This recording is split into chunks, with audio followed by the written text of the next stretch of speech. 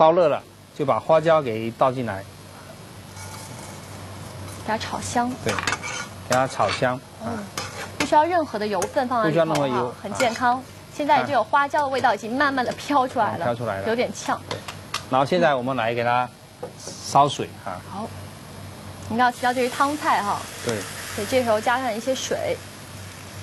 然后这个很简单，就给它烧，然后给它调味就可以调了，点味精，味道适中就可以了哈。味精再加一点，可以了。然后放盐和味精进行个调味，然后等锅里的水烧开之后呢，我们就看看哈，再怎么来处理刚刚那个处理了一半的这个腰片。对，其实我们这口汤啊，也可以预先给它熬制，啊，就跟熬中药一样，给它熬。是不熬越久越好？熬越久越好。哦。你看，我们这也熬了一段的时间了，啊，嗯，这颜色啊。有点变，像我们先可以这个把火给它关掉，嗯，再给它过滤一下哈，把这花椒花椒给它这个取出来哈。刚才这个开水烫过这个腰花都是这个血水，这不要紧，我们先给它倒进来。好，都烧开这个花椒水哈，倒进去。啊，这个过程呢有点讲究的哈，这样给它这样子给它再洗刷一下。它能够把里面的血水呀，给溶解掉，汤汁会更清。之前都是用流动的清水来处理，这会用这个花椒水再冲一下。你给它倒掉。好。那还还要再来第二次。嗯。再倒一点啊，其实家里做也是很方便的。再倒一遍。它这样子，这个猪腰啊，这个始终啊，温度没有一百度的开水。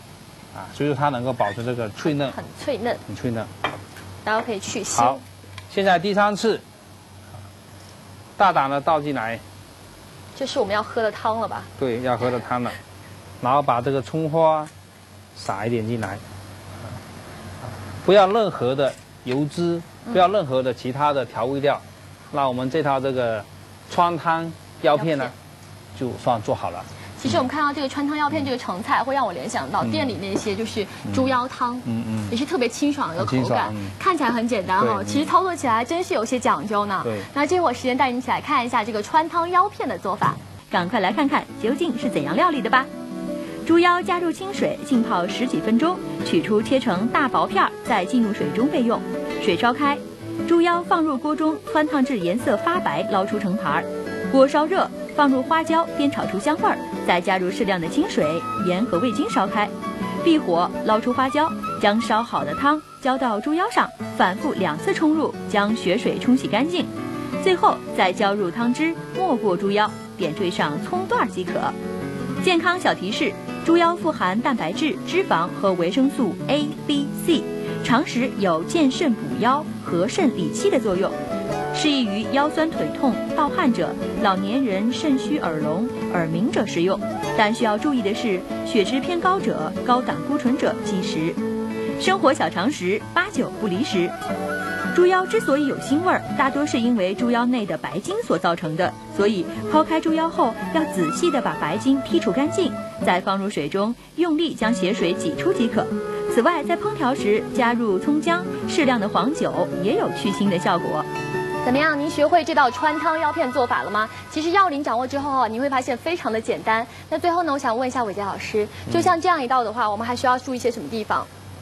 嗯，这个笋料上这个猪腰啊，泡水腥味给它去掉。好。那第二个，开水烫完以后，用这个煮花椒的汤啊，嗯，再给它洗两遍。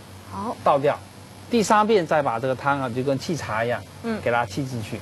就那个花椒水是发挥两个作用，一个是给它洗掉这个血水，第二个就是取它的味道。对对。那口感是怎样的？这样。口感是咸鲜味带椒麻。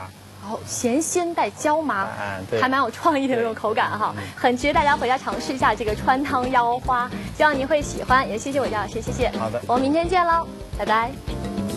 豆芽配上海鲜，算是走清新的路线吧，浓郁中带着清爽的解放。明天的大厨好推荐，一款团结完美的菜肴——银芽海鲜煎，不可错过。